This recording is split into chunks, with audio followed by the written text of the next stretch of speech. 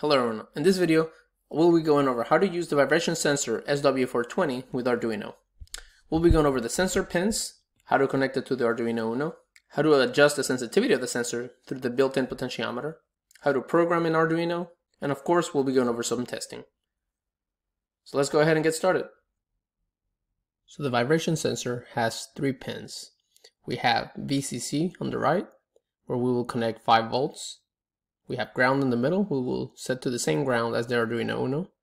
And then we have digital output, which will provide the signal indicating whether or not there's vibration being sensed, where a high, or in this case a voltage equal to VCC, will mean vibration being sensed, and a low or zero will mean no vibration. So now, to connect this to the Arduino Uno, we set VCC connected to 5 volts, as shown in the red cable.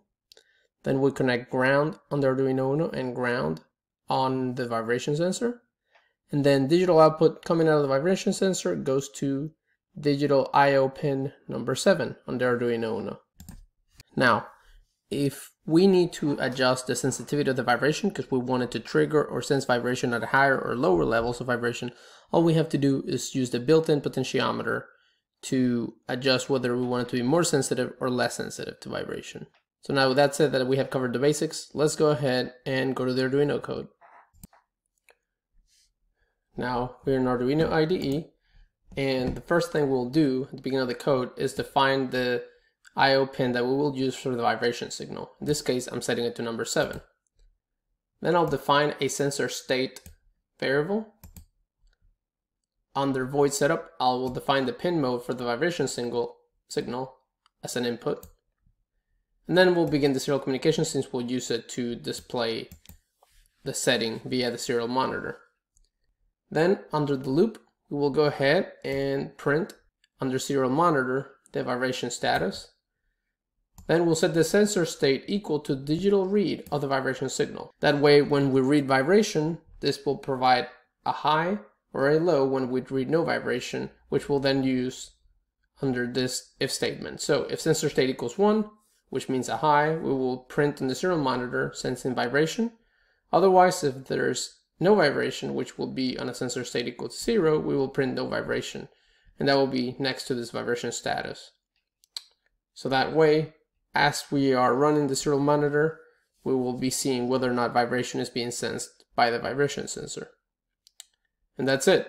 Now, if you want a quick and easy way of getting this code, all you have to do is go to DIYengineers.com and specifically go to the blog post associated with this video. I'll leave a link in the description, but all you can do is go there and then simply go to the Arduino code section right here and you can copy the code and then you know just paste it on your Arduino IDE and then you're good to go. Now let's go ahead and run the code. So I first upload it now that it's done uploading, we can go ahead and click on the serial monitor and we can see how we have no vibration. And then as soon as we make the sensor vibrate, we can see the vibration.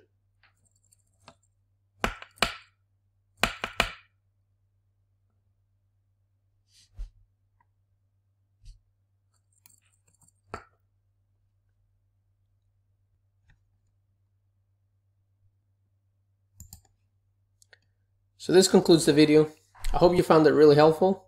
If you did, please go ahead and give us a thumbs up and subscribe. Thank you very much. See you in the next one. Bye.